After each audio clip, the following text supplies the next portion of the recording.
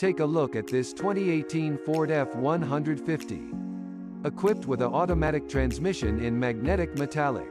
This car comes with some great features including adjustable pedals, child safety locks, alloy wheels, anti-lock brakes and more.